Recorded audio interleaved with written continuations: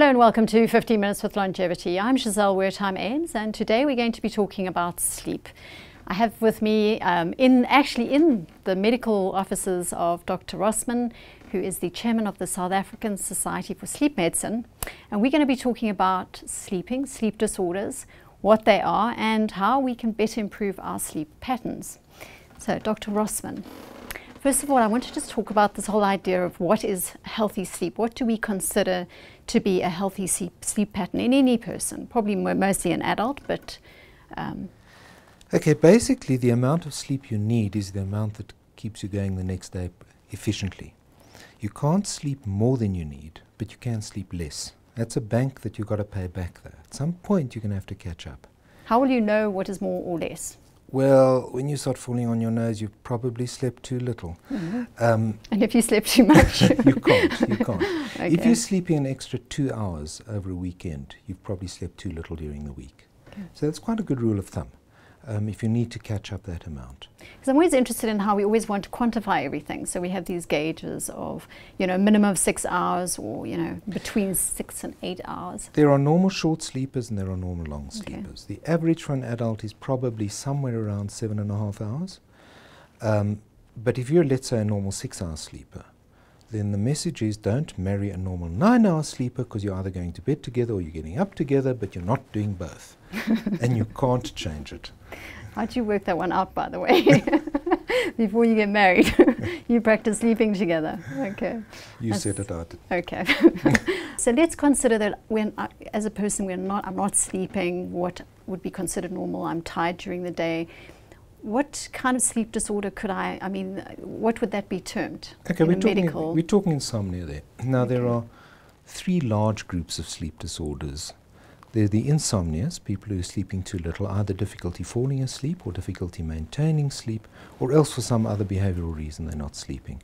Then there are the hypersomnias, people who are sleeping too much, uh, falling asleep in company, mm. falling asleep with their nose in the soup, behind the wheel, and so on. And then there what I like to call the things that go bump in the night. Those are the sleep movement disorders, people who sleepwalk, assault their partners, raid the fridge during sleep. So those are the three big groups. But if we're talking Sandton area, if you like, what we're going to see primarily is insomnia because of bad habits. So lifestyle related. Lifestyle related, absolutely. Okay.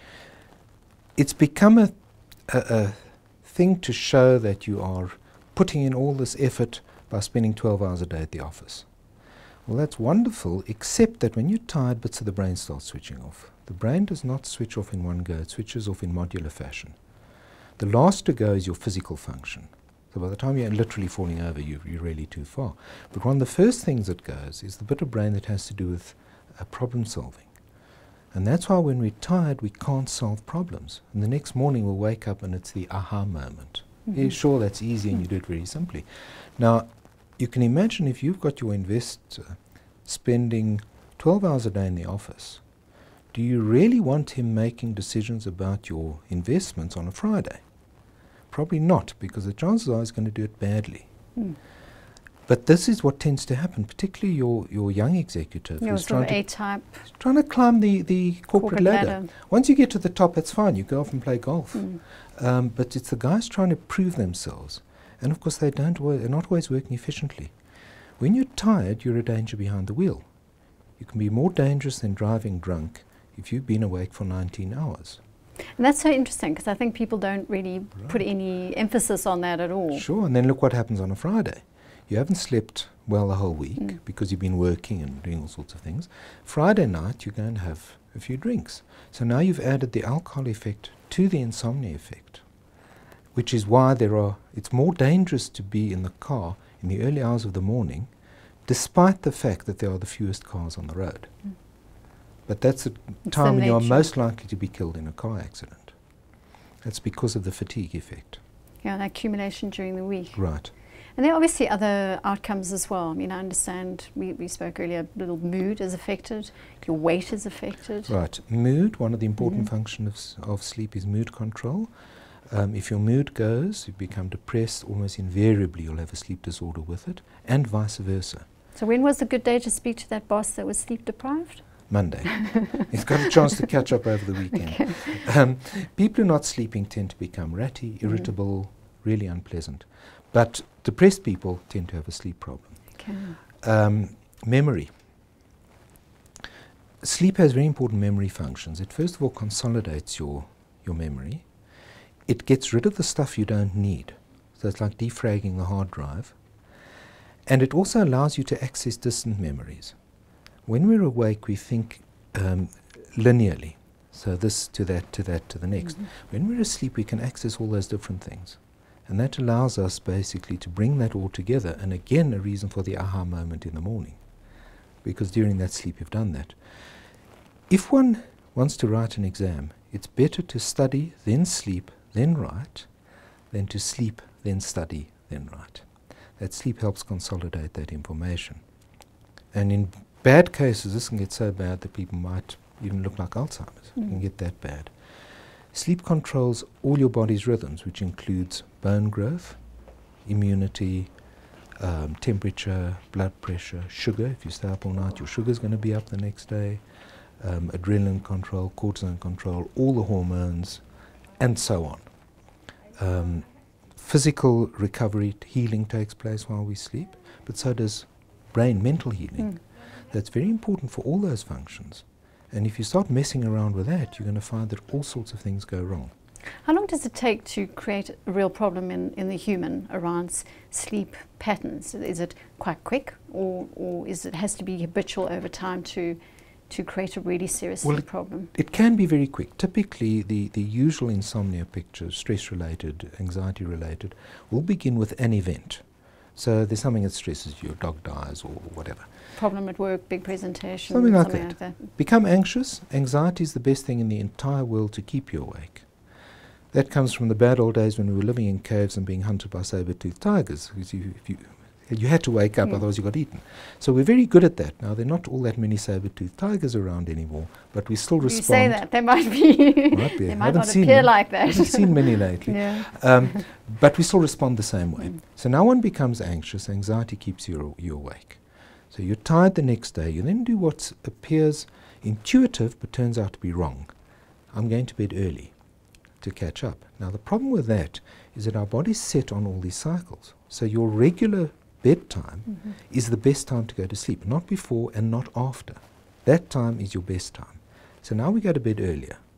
We're not ready to sleep even though we're tired. So we don't sleep. Now, sleep is very active. If you do an EEG, a brainwave test, you lots and lots of exciting things going on in your head. But falling asleep is passive. The harder we try, the less it happens. So now we're lying in bed, we're anxious, we decide we're going to try and sleep, and of course it doesn't happen. So now we very effectively train ourselves, Pavlovian type of effect, that getting into bed means waking. So after a very short time, people get into mm. bed and the body now recognizes bed as being a wake place and all the lights go on. And this then becomes self-perpetuating. Ultimately, the original stress thing is long gone, but we're still responding that way. So the treatment's pretty obvious. You don't use pills, you retrain. Yeah. And that actually can happen within a week. You can get very rapid results in that direction and in the other direction. Are you seeing more consciousness and, and a need for people to have more formalized sleep counseling? I think one of the reasons why it's becoming more prevalent is because we've now got electricity and we've got TVs and we've got laptops mm. and all the rest of it. You see, in the bad old days, when the lights, when the sun went down, you didn't have much option, you went to bed. Sure. So you entrained yourself very well. Now we've got all sorts of other options. Yeah. So you bring the work home. That's right. You bring the work home. And that technology in the bedroom. I mean, do you have advice on that when you see people? Is that something that's interfering with yeah, sleep patterns? Yeah. Bedrooms are for sleeping. Studies are for working. Mm -hmm. And never the twain shall meet. Keep the TVs out of the bedroom. Bedrooms must be comfortable, quiet, dark, cool comfortable bed. That's what's called sleep hygiene. That's the sleep equivalent of brushing your teeth. It's not rocket science. The bed, the sleep environment has to be conducive, but you also have to give yourself enough time to wind down to sleep. You can't go from mentally hyper alert, dealing with all the problems of the day, straight mm -hmm. into bed. In the morning, it takes our brain about an hour to boot itself up. That first hour, we're not functioning properly, but that's fine because it takes you that long to get to work. It takes about an hour to boot down at the end of the day. And if you don't give it that time, you're not going to sleep because you're still wound up and you're mulling over everything in the day and your brain's running to 100 miles an hour. You're not going to sleep then. You've got to allow it to wind down. Now, if you're lying in bed and you're watching a really good thriller and people being blown up and murdered every five minutes, you're not going to be able to get to sleep. Yes, I actually read some research on that recently that showed Yes. that that can be quite disturbing actually Right. to sleep. And the American TV programs are superbly designed to hold your attention. And they do that by keeping the excitement going. So if you're watching that sort of thing, you're going to be drawn into it and it's going to wake you.